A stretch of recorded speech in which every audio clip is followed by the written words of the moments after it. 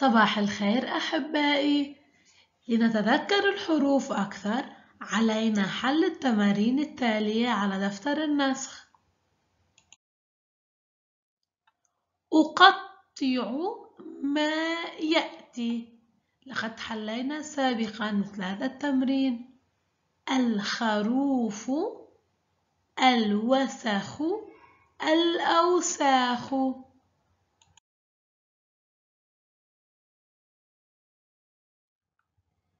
أملأ الفراغ بما يناسب المعنى من المقاطع الآتية.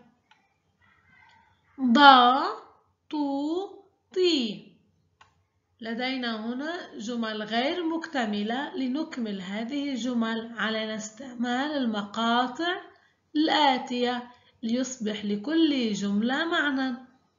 لكل بناية علينا إكمال هذه الكلمة. قلم طارق أيضا علينا إكمال هذه الكلمة. العصفور في الجو.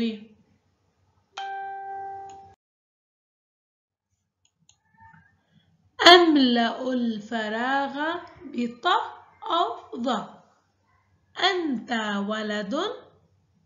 أي حرف يجب أن نضع هنا لنحصل على معنى. وضعت الكتاب على أين نضع الكتاب؟ إلى هذا الرجل.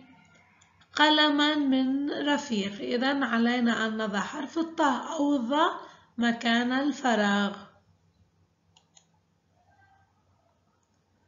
عند الانتهاء من حل التمارين أرجو إرسال صورة الفرد على الواتساب.